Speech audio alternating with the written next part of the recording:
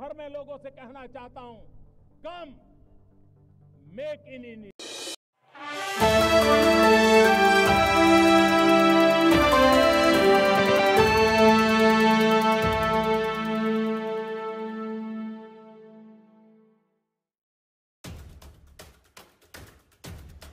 साल की शुरुआत मनोज बाजपेयी के लिए शानदार रही। अभिनेता की film the Fable burning film festival में पहुँच गई है। वहीं जोरम की पटकथा एकेडमी लाइब्रेरी के मुख्य संग्रह का हिस्सा बनी।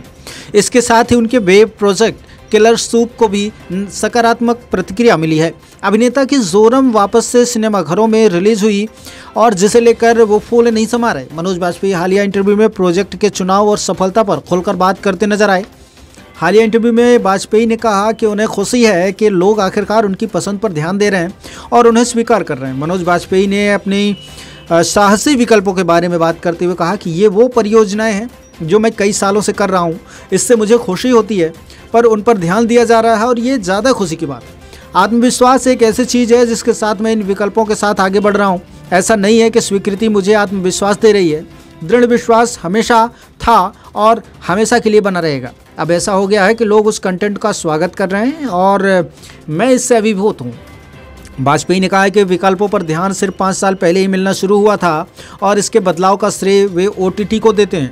अभिनेता ने कहा कि मैं कई सालों से इसमें हूँ, लेकिन पिछले पाँच साल से ओ टी स्पेस आने के साथ दर्शक मेरी फ़िल्मों के लिए खुलकर बातचीत कर रहे हैं, पसंद कर रहे हैं। इस पर मुझे गर्व है।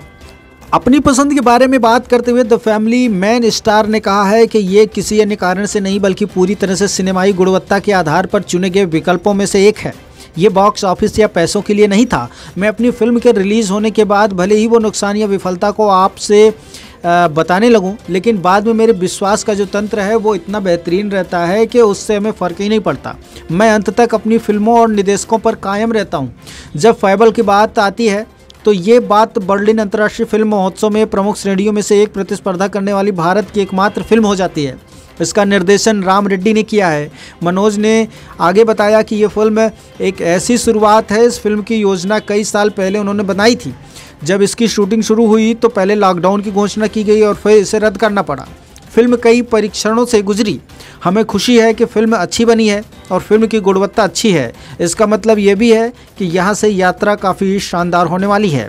कुल मिलाकर मनोज बाजपेयी इस वक्त सातवें आसमान पर नज़र आ रहे हैं, क्योंकि उनकी जो सफलता है, उनकी मेहनत है, वो रंग ला रही है।